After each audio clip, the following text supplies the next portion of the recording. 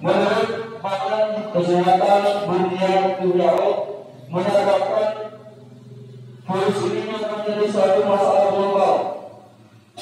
Dan menjadi suatu tantangan cobaan yang kita alami saat ini. Dan mudah-mudahan di daerah kita kita berdoakan dan kita harapkan agar dapat dijauhi dari hal virus dan kita tidak ingin tersebut.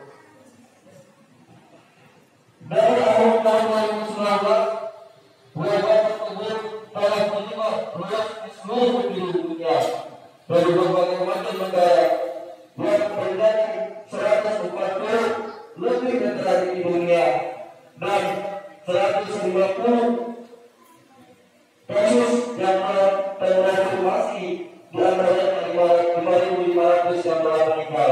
Ini merupakan suatu musibah, ini merupakan suatu taburan bagi kita. Hanya setiap lain dengan Allah Subhanahu wa taala.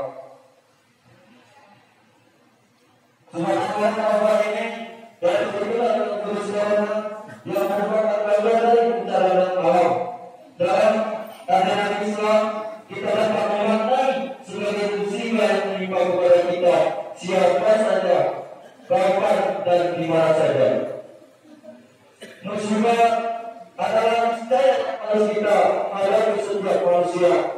Sebagaimana firman Allah dalam surat Al-Baqarah ayat 155, la.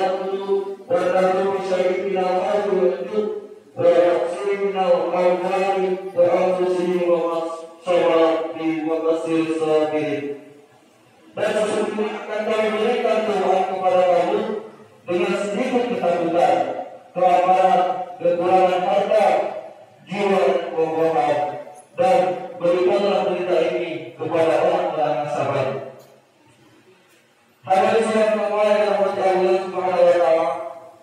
Bagaimana cara kita untuk menyikapi dalam wabah atau virus dan tidak dan salah satunya adalah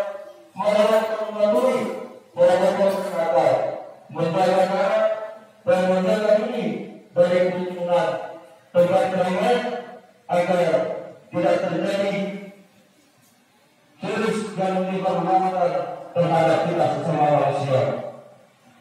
Dan selanjutnya kita